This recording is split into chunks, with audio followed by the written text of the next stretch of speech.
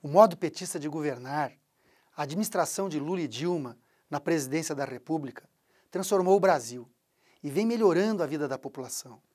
Juntos, tiramos milhares de pessoas da linha da extrema miséria. A classe média aumentou como nunca.